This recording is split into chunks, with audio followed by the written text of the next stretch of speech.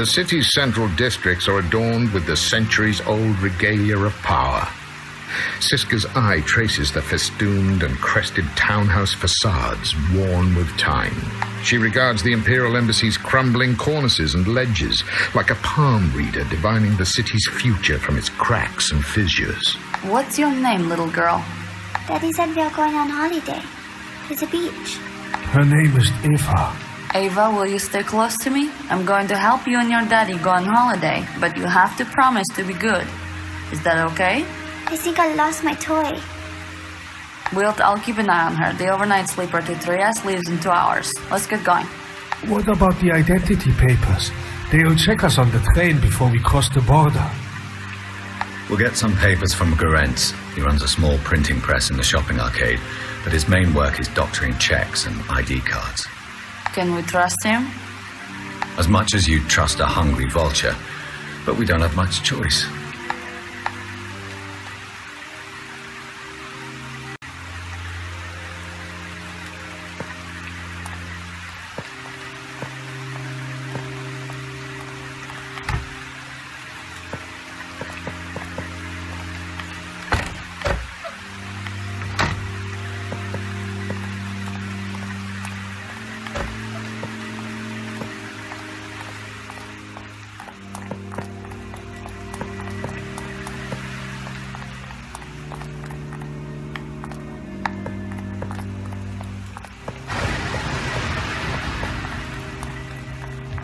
Local traders barter household essentials and basic foodstuffs.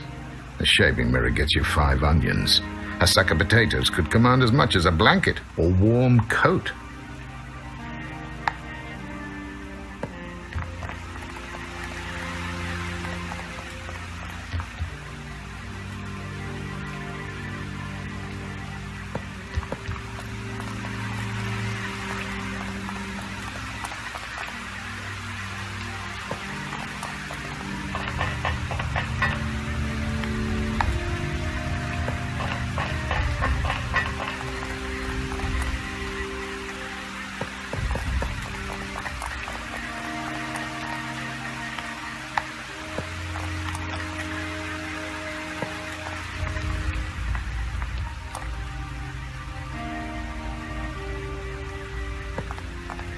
Soot-caked print shop window obscures the press rhythmically at work inside, where the patron secures a jeweler's loupe over his left eye.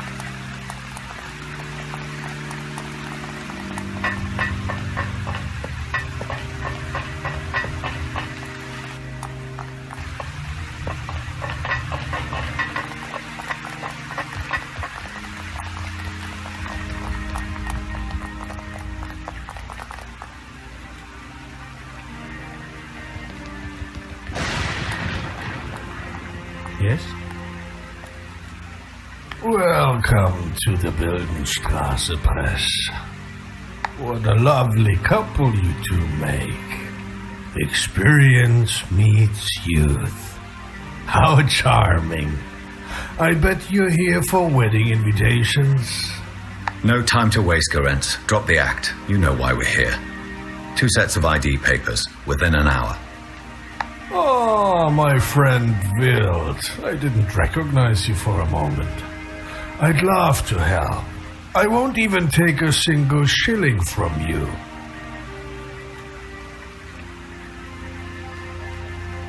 Hurry up, Garentz. I don't need the full story. Tell me what you want in return and let's get this done. As well as running the art academy across the square, my neighbor, Herr Grunwald, makes a tidy sum by managing the art collections of Vienna's rich and powerful.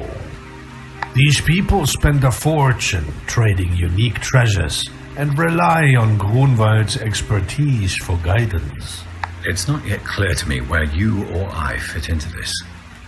Well, the problem for Grunwald's clients is that he is not as trustworthy as he seems. He's fond of passing on forgeries as high value pieces to his clients, supported by fake authenticity documents. Which you produced for him. Correct. And then guess what happened? The cheating fraudster Grunwald decided not to pay the poor forger Garentz? And now I need to settle this liar's dispute. You guessed it. I want you to retrieve my forged certificates. I'll then tell Grunwald the price has now doubled. You're not slow to exploit an opportunity to make money, are you, Garentz? A man is a reflection of his times. Is it not so, Wilt? Anyway, bring me these items and you'll have your IDs. Siska, Ignaz, stay here with Eva. I'll go and collect the certificates. If I'm not back in an hour, then you're on your own.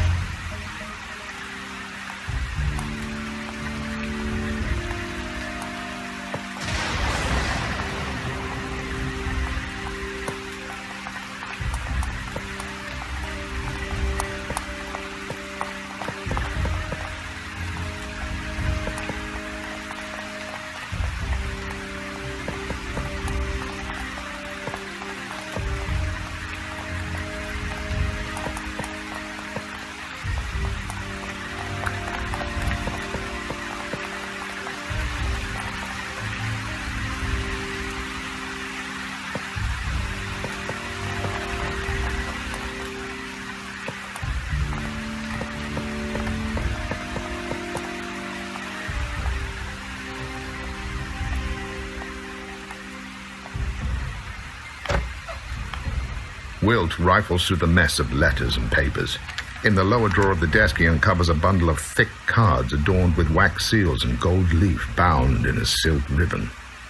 Wilt quickly scans one of the certificates before stuffing the sheaf into his pocket.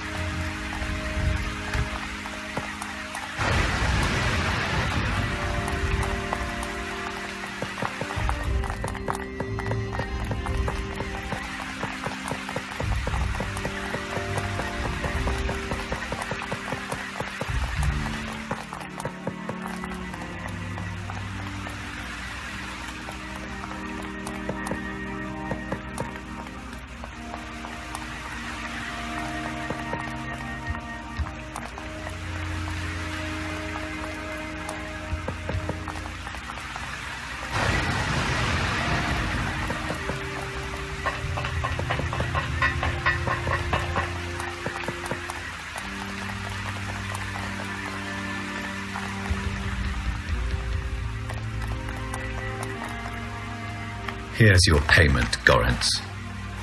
Wilt hands over the certificates. Garentz tucks them into his pocket in exchange for the forged identity cards, each decorated with a flawless replica of the official Imperial seal required for border crossings. How do you know Grunwald won't simply go to another forger? There is nobody else within 200 kilometers of Vienna who can do what I do. Grunwald is a greedy man. He'll never hold a grudge if it costs him money. You're gambling on his greed outweighing his pride.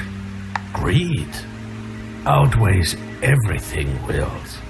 Thanks for the psychology lesson. We need to get going. Ignaz and Eva will need two tickets for their journey. Siska, can I leave this to you and your nimble fingers?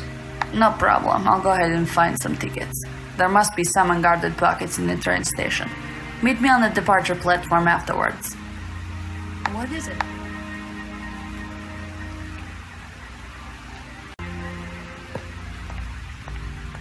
They'll never win. Do you mind?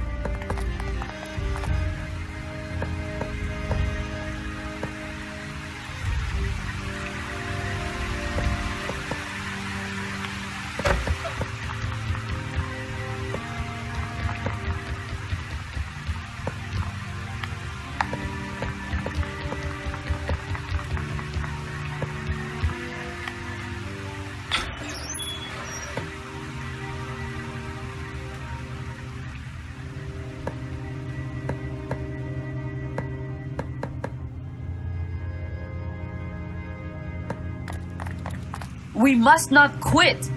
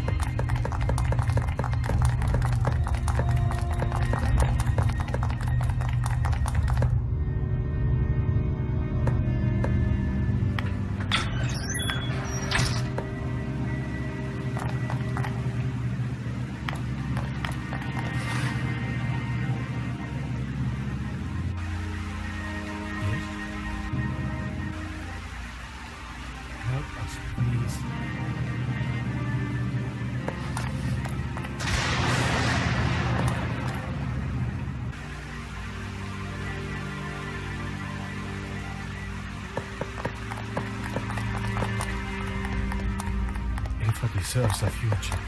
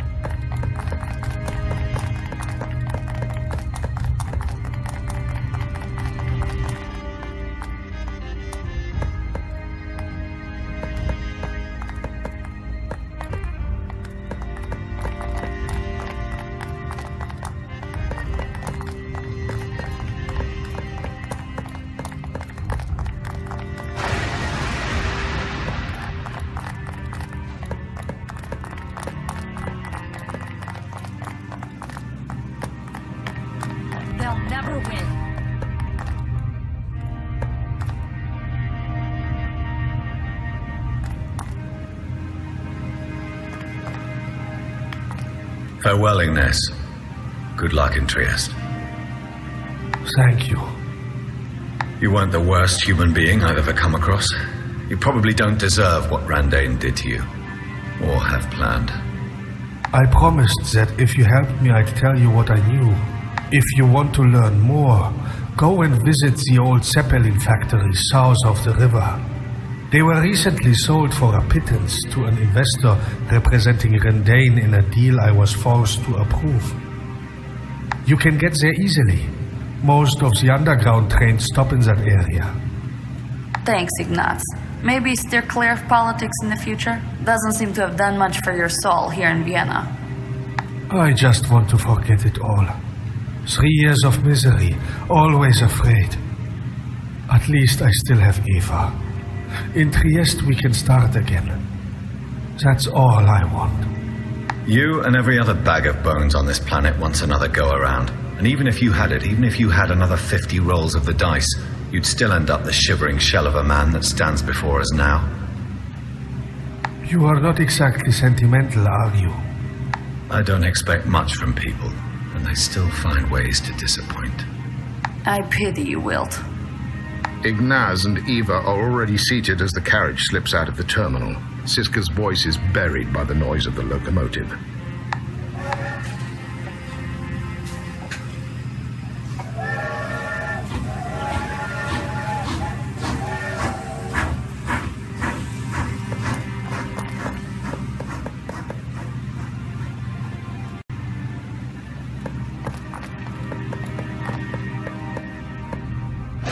You mind?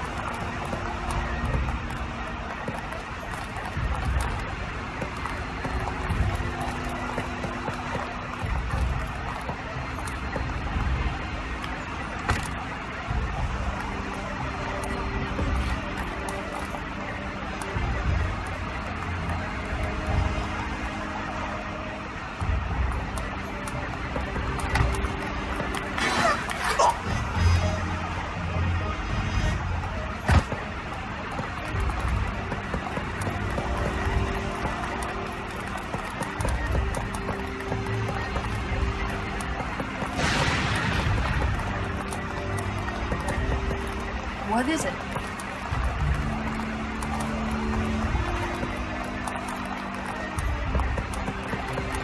What is it? They'll never win. We can take the underground train to the industrial zone near the Zeppelin factories. We'll be there in an hour. Sounds like you'll have a lot of fun. You're not coming? This isn't a hobby for me, Siska. If you want to hire me, then pay me. Or else, good luck to you. Try Arno if you want to volunteer. He's always desperate for a chance to clear his conscience. Problem is, whatever he does, it's never enough. I didn't much enjoy the last war I fought in, and I'm not eager to sign up for another. Siska watches intently as Wilt maneuvers through the crowd. She fidgets with the button of her worn jacket, waiting for him to change his mind, to turn around and re-emerge from the anonymous masses. Siska learned a long time ago that waiting for heroes would never change anything, and she was cross with herself for having once more entertained such folly. Heroes were for children's stories. In life, she'd met only those who cared more and those who cared less. The locomotive's steam whistle is deafening. Siska buttons her coat and slips off towards the freight terminal. Do you mind?